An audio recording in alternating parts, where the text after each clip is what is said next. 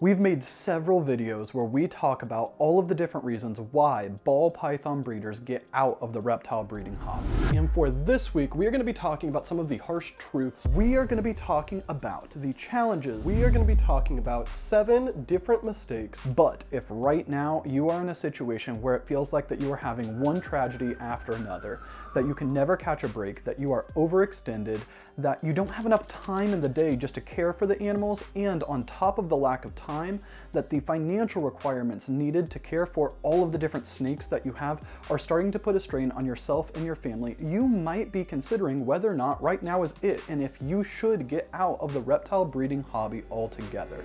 And for this week's video, we're not necessarily going to try to convince people not to get out of the reptile breeding hobby, but instead what we wanna do is we wanna talk about some different techniques, some different strategies that you could use if you're feeling like this right now in order to reignite the passion that you once had for breeding reptiles. So that way, maybe three, five, ten years down the road, not only are you out in a stronger position than where you are right now, but you are a better keeper, you are a better better breeder, and overall, probably just a better person than had you not gone through the adversity and hardship that you are experiencing right now. So, my name's Steven with Leviathan Snakes, and let's get in it. Quick interjection before we get into the meat of the video, and that is we are nearing 5,000 subscribers on YouTube and we are so freaking excited. Thank you all so much for watching our videos, for leaving comments every single week, and just showing all of the support that you have shown Courtney and I throughout all of our time in the reptile breeding hobby. Now, to celebrate, we are going to be doing a giveaway with Rare Genetics Incorporated that we are going to discuss in more detail later on in this video. But there are two things that you'll need to do if you want to be entered in the giveaway. So the very first one is make sure you're subscribed to the channel. If you're already subscribed, don't even worry about it. And if you're not subscribed, just hit the subscribe button. But we're going to talk about the second half of it on how you can be entered into this giveaway between Leviathan Snakes and Rare Genetics Incorporated. And we are so freaking excited. But like I said, back to the video.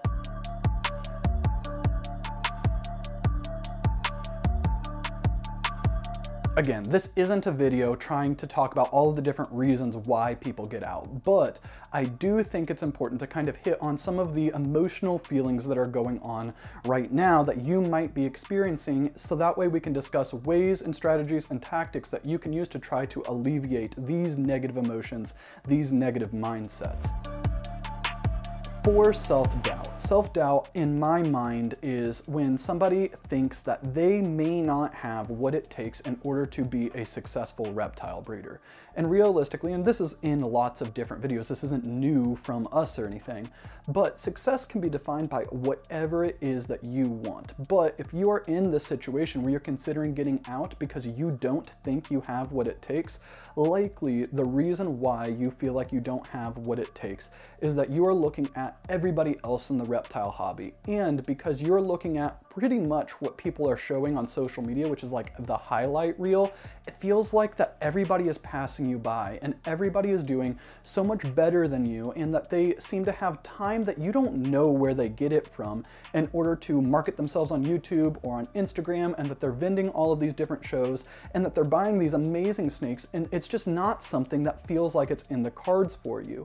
And in this specific situation, what it kind of does is it makes it seem like that if you are so far away from all of these other people that you are seeing, what's the point? And if you can't get up to that point, why even breed reptiles? So first thing I want to talk about on this point is you're not alone. These feelings of inadequacy, self-doubt, all of that stuff, it's very, very common and a lot of people are in this situation because you can look at the people who are leading the entire industry and while we are seeing the absolutely incredible animals they are producing, the amazing sales that they are making, all of these different things, they've been doing it for significantly longer than I have, than Courtney has, than pretty much almost everybody who's watching this channel. And it's not really fair to ourselves if we are comparing ourselves against somebody who's been doing it for 20, 15, 10 years even, and expecting ourselves to be at the exact same level.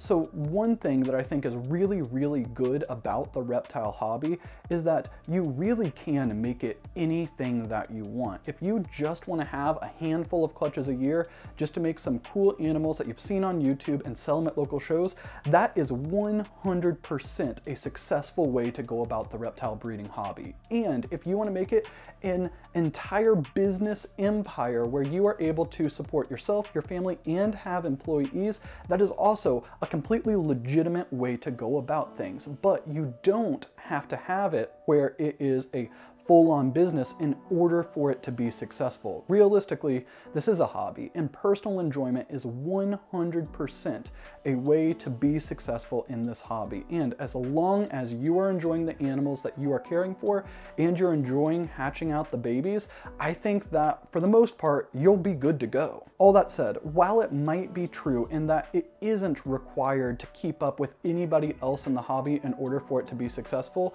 that doesn't necessarily mean that that you won't feel inadequate compared to other people in the hobby. So in this situation, you might be looking at it that you didn't buy the right animals or that you don't have a strong base in your ball python breeding projects. And because of that, you are going to have to redo everything by all new animals and you might end up messing up again. And again, that self-doubt just comes back where you aren't necessarily believing in your own abilities and your own knowledge. But in this specific situation when it comes to animals, when most people are getting into the ball python breeding hobby, they're very impulsive with what they're buying. They're buying things that look amazing, but might not really fit together. And if you went into a brand new ball python breeding operation right now with the knowledge that you have now, you probably are going to be able to pick better animals, pick better projects, and overall set yourself up stronger than when you very first got in and had no idea about all of these different aspects of the ball python breeding market. So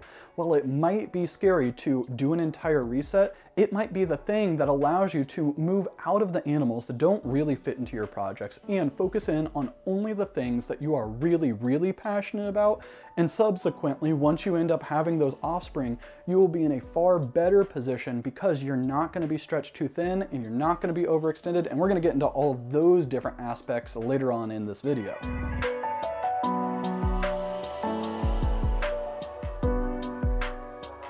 Tying into the self-doubt, it is not uncommon for people to be breeding for three, four, five, even 10 years and ultimately feel like that they are not really making progress in the entire ball python breeding hobby. And when this is happening, it might feel like that you are treading water, or maybe each season you're getting a little bit further and further and further behind. And as that's happening and new people get into the hobby, it can be really, really discouraging when they are just going out and buying the animal that you've been trying to hit for years and years and years, but the odds just keep crushing you. And it can ultimately just put you in a situation where the goal animal you've been trying to hit forever just isn't worth what it it used to be, and it doesn't feel like it's even worth it to keep pursuing it, and because of all of this, it might lead to somebody wanting to get out. Rather than trying to focus on creating a specific combo when the situation is arising, I personally think it might be helpful to instead focus on saving up enough money so that way you can go out and buy something that is way beyond anything you could potentially create from the animals that you already have. So let's say that you're in a situation where if you are breeding $1,000 animals, maybe you try to save up to get a $5,000 animal or a $10,000 animal, 15 or even 20 $1,000 animal. It just really depends on your situation. But the thing on this is it's not about a specific animal. Instead, you are, rather than focusing on just getting another clutch to try to hit that specific combo, you are instead trying to sell animals, whether they're hatchlings or animals that don't really fit into your projects anymore, and take that money and put it into an account and don't spend it. And then you keep putting more and more money so that way the sense of progress that you're getting is not getting a clutch and then once the clutch hatches out, losing on the odds again. Instead, it is the steady progress from having $1,000 in the account to 1500 to 2000 to 2500 to 3000 until eventually you hit your goal. And then once you do hit that budgetary goal that you wanted, I think you could go on Morph Market and just go buy maybe like the best male that still fits into your project given that price range. But I personally think that it might be a little bit better to wait until there is the next national level show wherever it's close to your app. Maybe it's a Tinley or something like this. And rather than just going and buying a specific animal on Morph Market, which you could still do, taking that money that you saved up, going to that Tinley, maybe it's a fall Tinley or March Tinley or Daytona or something like this, and going around the entire show and really analyzing what is available, what is within your price range, and what would work best for you. Because while you could just go onto Morph Market and buy that specific animal, you might still end up doing that because if you go to the show and you end up finding out that like, yeah, there's nothing that really fits into your situation, you can always go to Morph Market and buy the whatever animal you are looking at. But at that in-person show, you will likely be able to get a far better deal on the animal. You'll be able to see them in person and you are going to be able to network with other people in the hobby, specifically within that project, which becomes so important and so valuable once you end up having those babies for sale.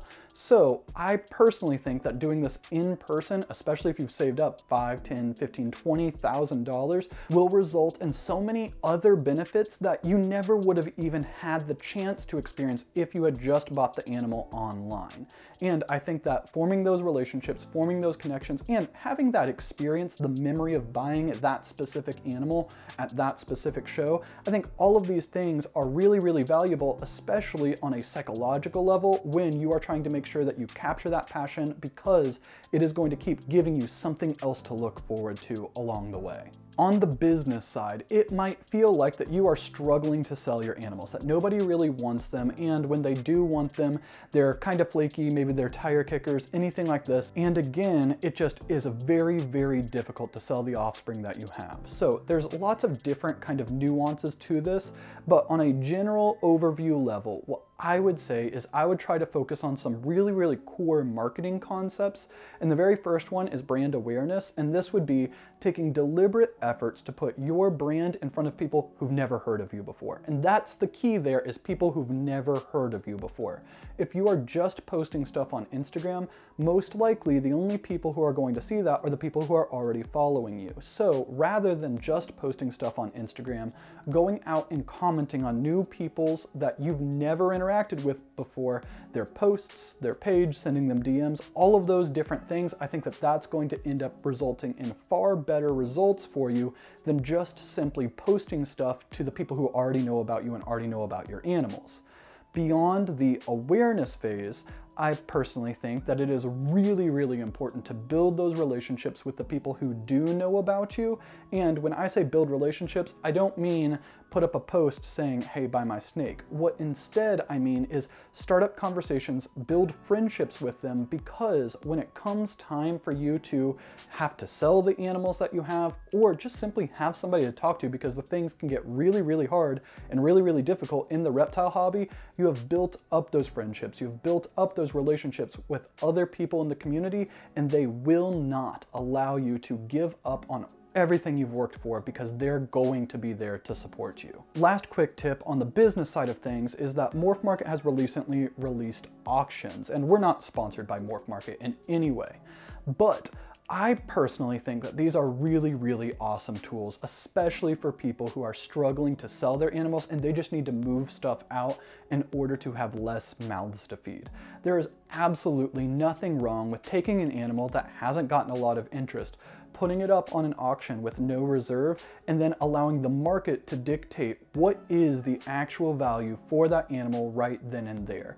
And even if it sells for less than what you wanted it to sell for, it is still ultimately going to be a good positive thing for you because it is bringing in some revenue for your business. And in addition, it is minimizing your expenses because that's one less mouth to feed. So I think that if you want something pretty quick, I would highly recommend using Morph Market's auction feature and not setting a reserve price so that way you can truly allow the market to dictate what that animal is worth. In addition to all of the results and whether or not somebody's getting what they want out of the breeding hobby, there is so much work that is required in order to breed ball pythons, in order to care for the animals, and in order to run a ball python breeding business successfully that it very, very easily can lead to burnout. And realistically, at least in my opinion, when I think of burnout, that is when you feel like you have a million different tasks that you need to do and you do not have the time for it. And in this situation, it can be really, really demoralizing. And what ends up happening is if the burnout gets too bad, you end up having no motivation to do anything, and then things start to really, really go south. And when this ends up happening, this is when you can get a lot of tragedy that we are going to be talking about later on. So, in order to combat the burnout is when somebody is feeling the burnout, the initial stages, because you feel it way before it gets too bad where you end up just giving up on everything. I personally think it would be very, very smart to take a step back and just take a break. It doesn't mean don't do anything with the animals, but stop overexerting yourself. And in this situation, I think that you should really, really identify what is the absolute bare essentials that you need to do and then cut out everything extra. And do this, just do the bare essentials. If you need to take a step back from social media, that is perfectly okay. There is no reason at all for somebody to have to go at 110% sprint every single second of every single day for years and years and years. I don't even think that that's sustainable. Anyways, but when you get into the situation, I think pairing it back to what's essential, like caring for the animals, setting up one day a week where you're gonna go through and you are going to humidify, do water changes, you're gonna do all of the husbandry stuff that you need to do with the animals to make sure that they are healthy and safe. I think that once you establish this habit where you are specifically only doing what you absolutely have to do, eventually the burnout will subside. Like it comes in waves, I feel like, with most people. And while you might have a very, very busy time of the year, a couple months later, things might have calmed down enough where you might be able to add back in posting on social media. And maybe it's not every single day, maybe it's once a week. But just simply understanding what you absolutely need to do and giving yourself permission to not allow things to get too bad where you end up dropping all of your responsibilities, but rather that you take the time for yourself to refocus, relax, and get back into a good headspace. I think that this is essential in order to battle burnout.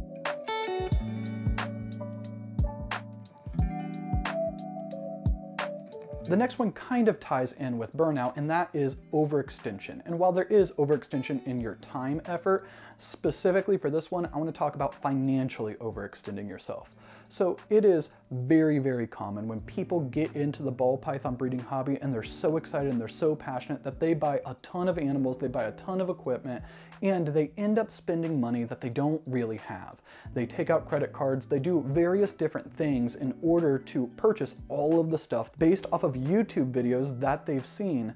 And ultimately, what can happen is that maybe they don't sell the animals that they thought they were going to sell, or they don't sell for the prices that they thought they were going to sell for, and they are stuck with these massive credit card debts and that the interest, once it kicks in, because a lot of times it's like 0% interest for a certain amount of time, but once that interest kicks in, it can absolutely crush people. So my advice, if you financially overextended yourself, is to make a budget where one side is how much money you are consistently bringing in every single month.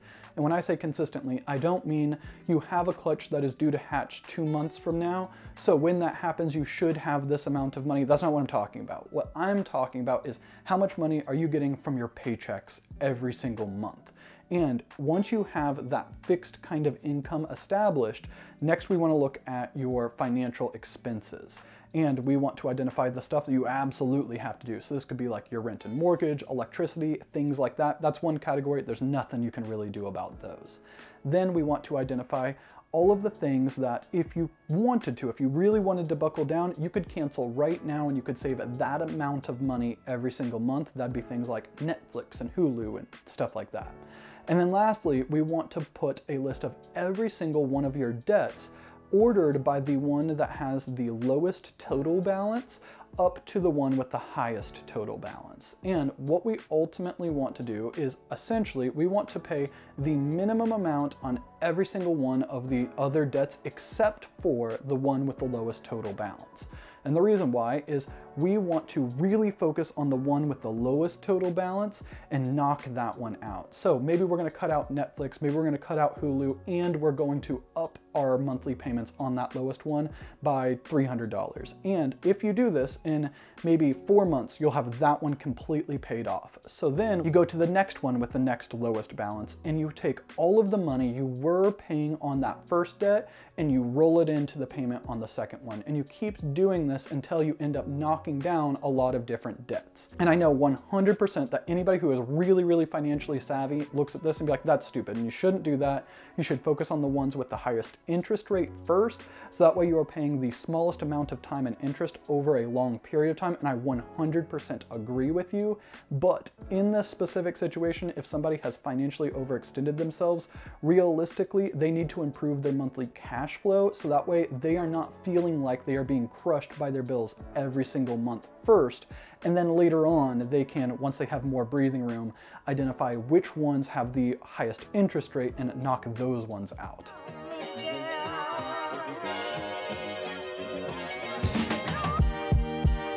Cutting into the video real quick to talk about our 5,000 follower giveaway. So this giveaway and our entire channel is sponsored by our amazing friends over at Rare Genetics Incorporated. And what they are doing is that they are going to be giving away some of their two-day fast shed tests and the two-day fast shed tests actually have just been expanded. So previously, you could send in a shed test for clown, for VPI Axanthic or for Desert Ghost, and they would give you the results as soon as they got the shed tests in the mail within two business days. So the new morphs that they just added to the two-day fast shed tests are Sunset, Puzzle, and Pied, and I think this is absolutely freaking huge. We obviously absolutely love the Sunset project and we are just now really starting to get into the puzzle project too.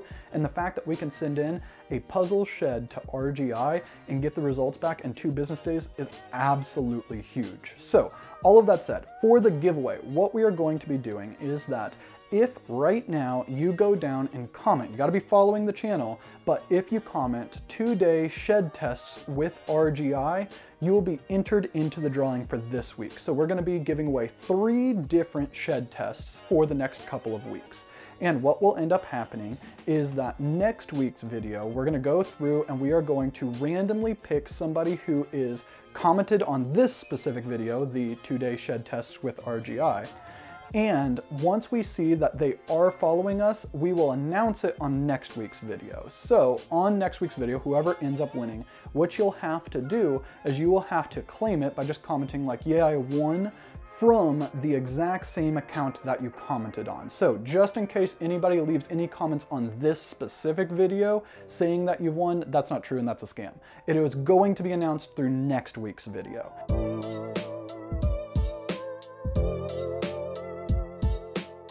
These last two things that we're going to talk about are a little bit more difficult because there isn't really anything that you can quite do about them. But that said, we are going to talk about some strategies to cope with them even though there isn't necessarily anything to do once it actually happens. The very first one is that you may have experienced some form of animal tragedy. Maybe you had a rack fire or you had a disease sweep through your collection and kill a ton of animals. And in these situations, it can be really, really hard to want to keep going because all of the money that you had invested, all of the emotional connections you had made to those animals, all of the work you had put in for years and years and years, in a blink of an eye can just be gone. And that can be genuinely devastating, and I don't blame anybody who gets out after an experience like that. That said, if you want to stay in, I think that taking that specific experience, whether it was a rack fire or disease or anything else, and using it to become a better keeper, using it to become a better breeder, and ultimately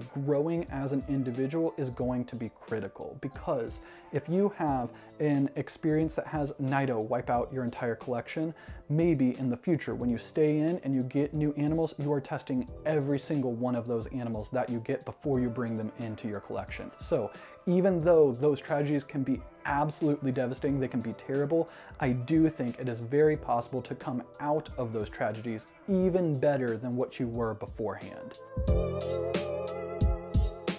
The last thing that I want to talk about is personal tragedy, and this is, in my opinion, probably the hardest to come back from. and that is if you've had the loss of a loved one, if you've had a life-altering injury, if you've had a divorce, even if you've just simply lost a job that you 100% needed in order to survive, all of these things can absolutely wreck your motivation in order to want to continue breeding ball pythons. And I don't think anybody in the entire community would blame anyone who got out after one of these specific situations. That said, again, this whole video is focused on the people who don't want to get out. So what I would say in this specific situation is, while it's very likely that you might be grieving or you've had your entire life plan shattered right in front of your eyes, this community, at least in the people that I've interacted with, is genuinely the best community I have ever been a part of. And there are so many people in this community who will just simply be willing to listen to you so that way you can vent and deal with all of the negative things that are going on right now. And if you have to walk away from the ball python breeding hobby, that is okay. And there is nobody who is going to blame you for it. And just because you might decide that you need to step away right now doesn't mean that three years from now, five years from now, 10 years from now, you can't come back. And by building up these strong relationships within the community, I think that when you do decide to come back, everybody is going to be welcoming you with open arms.